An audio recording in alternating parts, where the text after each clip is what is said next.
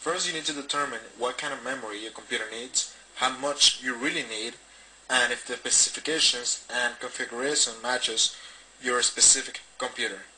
How do you know this? You can always go to the website of the manufacturer of the computer and uh, search for the specifications on your computer based on the model number uh, which can be found usually on the front or on the back of your tower. Um, once you have everything, once you bought the memory and uh, you're sure that's the one that it needs, shut down the computer if it is on and disconnect monitor, keyboard, mouse, modems, anything that you have connected to the computer including the power. Okay? Open the uh, cover, remove the cover, and uh, ground yourself to the computer with either, with either an, an anti-static wristband, which is something like this,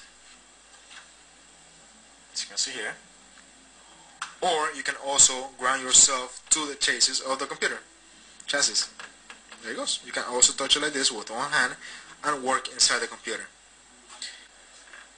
Once you're ready to, to place the memory on the motherboard, remove the memory from the package and grab it by the ends like this.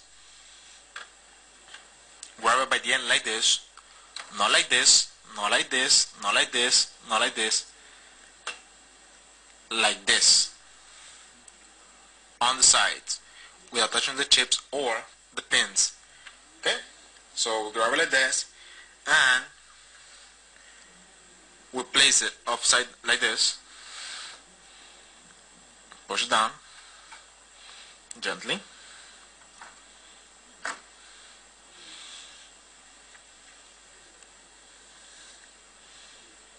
Gently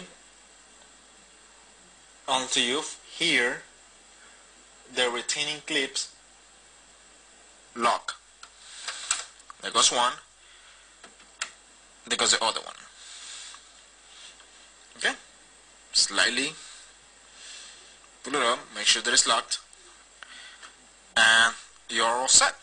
Just go ahead and place the cover back, connect everything back to the computer, and enjoy. Good luck. Until next time.